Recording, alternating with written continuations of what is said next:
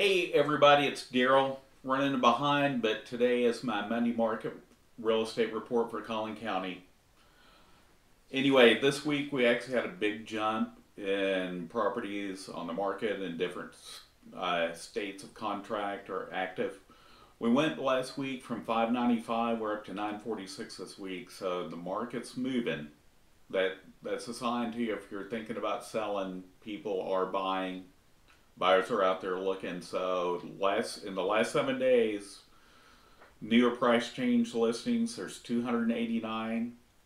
We had 240 go under various stages of contract. 132 went pending. 283 sold. So again, the solds and new listings are stand pretty much neck and neck across the county. And in East Allen, in the last seven days, we we've had nine new properties or price changes hit the market. Ten went under contract, four went pending, and 14 sold. So East Allen's pretty strong there. In Lucas, we've only had two new or price changes in the last seven days. Three that went under contract, zero pending, and one that sold. And then in Parker, of course, it's small, but we had one newer price change listing hit the market, one that went under contract, nothing that went pending, but one that sold, so it's neck and neck there. And then McKinney, we had 70 properties hit the market or had price changes, 58 that went under contract, and we had 31 pending, 76 that are sold.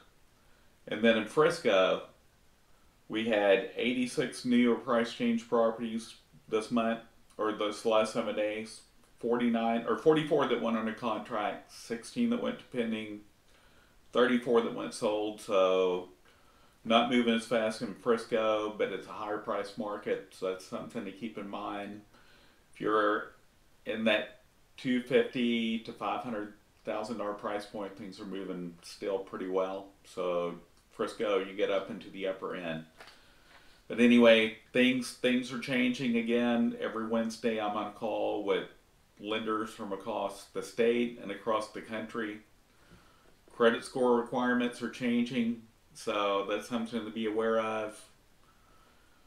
Loan requirements are getting more strict, so if you're thinking of selling, just keep that in mind. That's going to affect buyer, the buyer pool looking at your property. Number three, some some lenders have raised their credit scores really high, and any down payment assistance or things like that, th- those programs are pretty much gone. But if you have any questions, you want me to talk about any other areas, let me know. I'm here. Look forward to speaking with you. Be safe out there. Talk to you soon.